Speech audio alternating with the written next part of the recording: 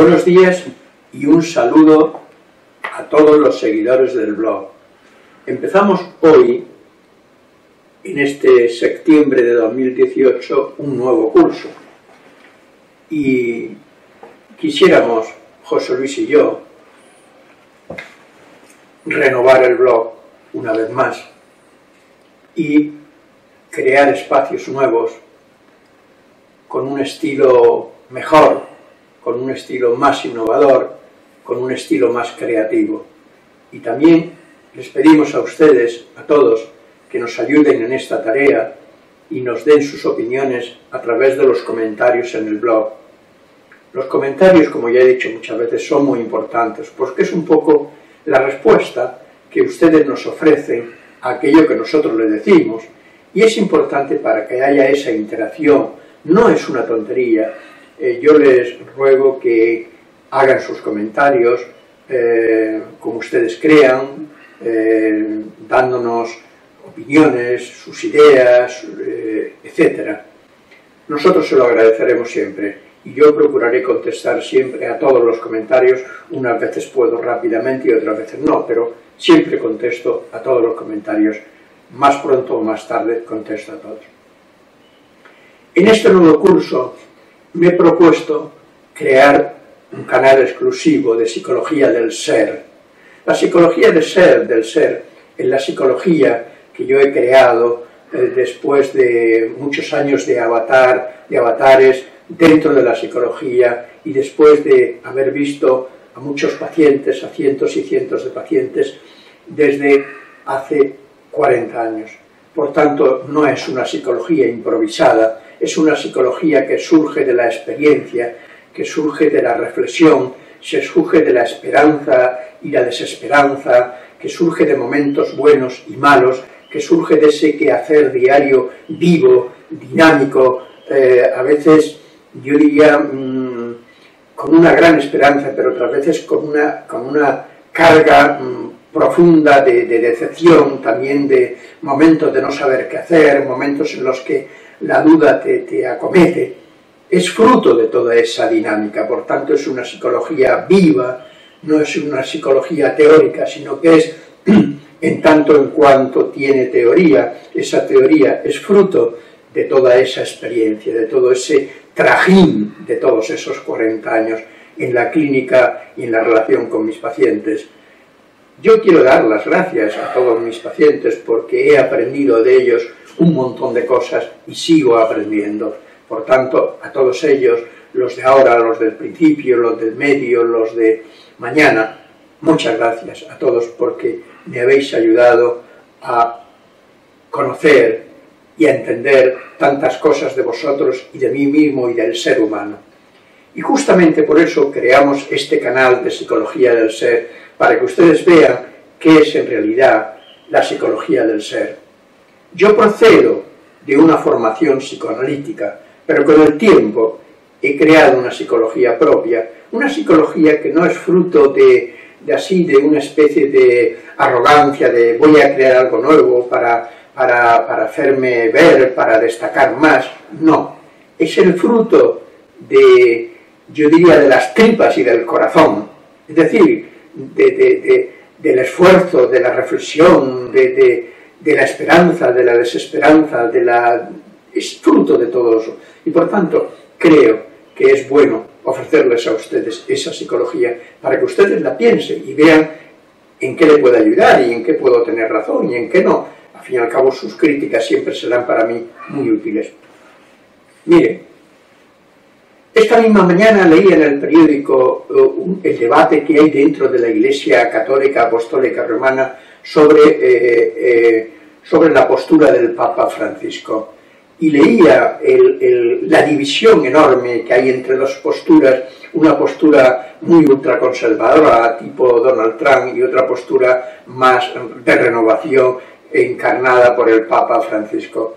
Esta lucha, esta batalla que hay en este momento dentro de la Iglesia no es una batalla cualquiera, es la batalla que siempre hay en el ser humano. Y esta no es una batalla cruenta, aparentemente, pero ha habido a lo largo de la historia muchas batallas cruentas, muchas batallas donde han muerto miles y miles de personas. Recuerden ustedes el asedio que se hizo a Rusia por Hitler, donde murieron cientos de miles de personas en aquellas batallas que hubieron. Eh, podríamos hablar de tantos y tantas batallas que han habido a lo largo de los siglos, de tanto y tanta guerra, violencia, desesperación, humillación, eh, etc. El ser humano es un ser humano que tiene varias vertientes. No es, un ser humano que puede decantarse hacia el bien o hacia el mal, hacia la esperanza o, o hacia la desesperanza. Es un ser humano ambivalente que tiene esa ambivalencia de poder elegir, de poder definir, de poder ir para acá o para allá. Y por tanto, y por tanto tenemos la obligación desde la psicología de ofrecer una reflexión sobre todo esto para darle, para darle al mundo ideas útiles para definir y concretar los caminos que debemos seguir en esta ruta de la vida. Por tanto, la psicología del ser pretende eso. El ser humano evolucionó desde los animales inferiores. El ser humano dio un salto, dejó el paraíso animal y se adentró en un territorio desconocido, el territorio del ser humano. Y ese territorio no es, no es un territorio preestablecido, es un territorio que nosotros definimos, construimos cada día con nuestro pensamiento, con nuestra acción, con nuestra economía, con nuestra política, con nuestra religión, con nuestras creaciones. La psicología del ser pretende hacer para ustedes una reflexión profunda sobre todo esto. La psicología del ser no se atrinchera en la clínica, como hace poco en un vídeo que yo y que está en el blog y que hacíamos aquí un grupo de personas, había un colega mío que decía que no, que la psicología tiene, el psicoanálisis tiene que estar dentro de la clínica y no fuera. Esa no es mi posición. Mi posición es que la psicología, el psicoanálisis, tiene que salir ahí fuera tiene que salir a la calle, tiene que entrar dentro de la política, la economía, la religión, porque la salud mental no es una cosa de la clínica, es una cosa de la sociedad, de la cultura, del ámbito económico, político, religioso, de todos los ámbitos. Por tanto, yo no soy un psicólogo que me atrinchere dentro de la clínica, sino que salgo fuera a la calle y me el tipo hay en esa lucha y en ese debate entre posturas diferentes. Yo tengo mi postura y la tengo por algo y la defiendo con uñas y dientes. Sí, señor, pero al mismo tiempo que la defiendo con uñas y dientes estoy dispuesto a escuchar al diálogo auténtico, verdadero, a escuchar a quien sea, a todo aquel que tenga que decir algo y que no sea puramente un imbécil, porque si ya alguien empieza, mm, como le diría yo, con una postura de arrogancia absoluta, no se, no se puede esperar nada de él. Por tanto, esa es la postura de la psicología del ser. Esa es mi postura, esa es la postura de este blog. Este blog, este blog nace de toda esa lucha que yo he mantenido a lo largo de mi vida, una lucha tremenda, una lucha donde yo he tenido que construirme como ser humano, porque yo no he sido así siempre. Yo procedo de un origen humilde, muy humilde, eh, eh, donde no había, donde no había donde la mayoría era gente analfabeta y por tanto yo tuve que emerger de esa posición poco a poco en la vida para hacerme, para construirme como ser humano y como psicólogo. Y por tanto, esa es mi historia.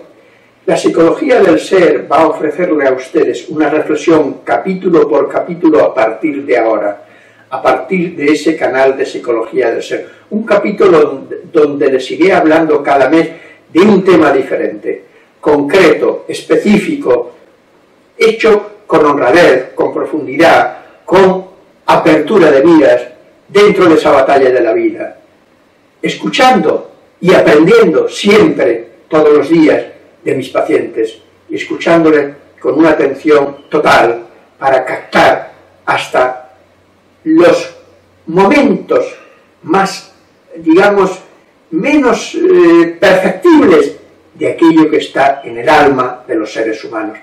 Eso es lo que yo quiero llevarles a ustedes.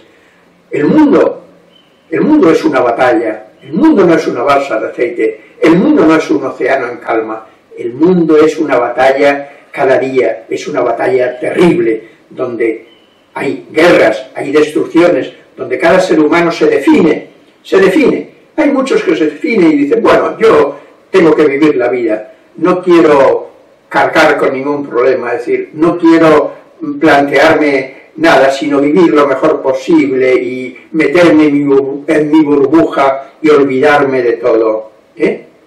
No, no hemos nacido para eso. Hemos nacido para adentrarnos en esa lucha y en esa lucha tener una ética que construya este mundo, un mundo de libertad, un mundo de solidaridad, un mundo de justicia, un mundo donde no haya gente que se muera y al mismo tiempo otros sean inmensamente ricos, un mundo donde unos no tengan ni un medicamento para un simple dolor de cabeza y otros tengan medicamentos carísimos para todo tipo de enfermedades y hospitales maravillosos donde son perfectamente atendidos. Nosotros queremos entrar en esa lucha y en esa lucha yo me defino me defino en una posición. No soy neutral, la psicología del ser no es neutral. Por tanto, eso lo van a notar ustedes en, eh, en los vídeos. Yo tengo muchas cosas en común con el psicoanálisis, pero hay una cosa, hay una cosa fundamental con la que no estoy de acuerdo. Freud parte de la pulsión, del impulso. Sí, ese impulso, ese impulso somático, luego Freud lo mentaliza, lo secundariza. Yo no parto de ahí. Yo parto del ser. ¿Qué es el ser? El ser es una especie de estructura viva y dinámica, densa, profunda, amplia, que hay dentro de cada uno de nosotros. Y esa estructura, a partir de esa estructura yo quiero construir una psicología con alma, con alma. Y entiendo por alma todo esto, no entiendo aquella aquella definición de alma de, la Edad Media, sino una definición de alma moderna, la capacidad de amar, la capacidad de crear, la capacidad de ser, la capacidad de elegir, la capacidad de comprometernos, la capacidad de construirnos. Eso es el alma humana. Eso es el alma humana. Y ese alma humana está presente en niño desde que nace.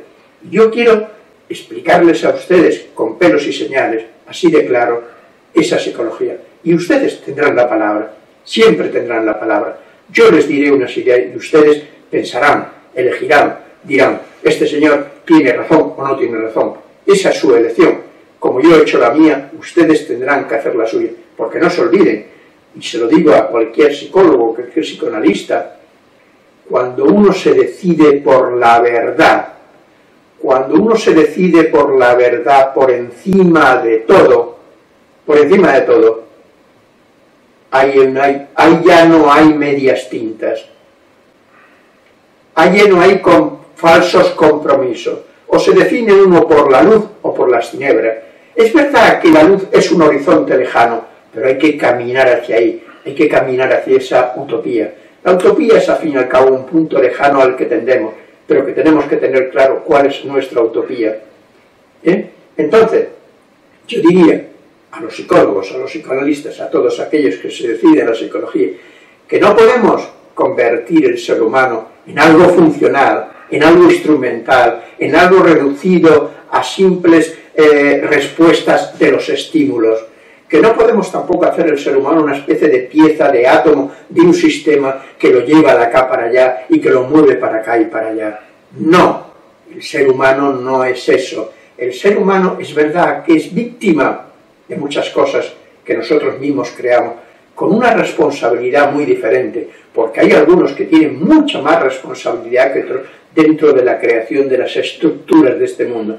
Este mundo no tiene una organización que sea definitiva. Eso que algunos nos quieren hacer creer que la organización de este mundo es la esencia de las organizaciones. No, el ser humano puede cambiar las organizaciones.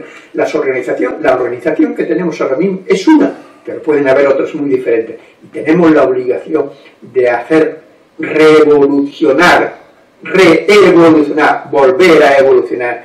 Tenemos la obligación de volver a evolucionar, a hacer evolucionar esta organización, estas estructuras, hacia algo mejor, hacia algo que construya un ser humano más libre, más digno, más justo, más solidario, más igual, que no haya diferencias tan abismales. Bueno amigos, pues esto es lo que quiero ofrecerles a partir de ahora dentro del capítulo, dentro de ese canal de psicología. Ese. Hasta ahora lo he hecho, pero ahora lo voy a hacer de una forma más sistemática, capítulo por capítulo, para que, para que ustedes reflexionen, se enteren de cuál es esta posición y pueda ayudarles a avanzar en su vida.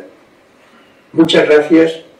Empezamos un nuevo curso lleno de esperanza, lleno de ilusión. Espero que ustedes también en su corazón tengan esa ilusión y esa esperanza. Hasta pronto.